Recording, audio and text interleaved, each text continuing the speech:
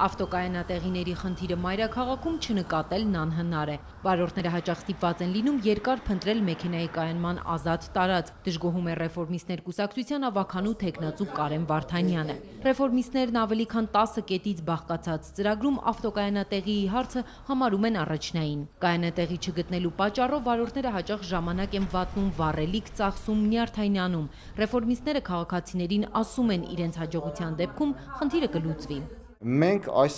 խնդրի լուծումը տեսնում ենք վերգետնյա կայանատեղիների կառուցման մեջ, այսինքն փորելու փոխարեն միանգամից կառուցվում է շինություն, դա կարող է լինել երկու հարկանի, երեք հարկանի, օրինակ նման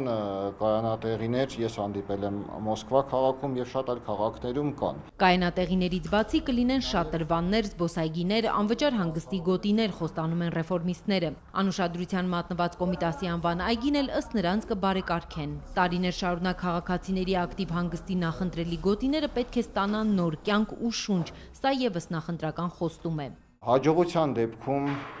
մենք նպատակ ենք դրել վերագործարկել այդ զբոսայգին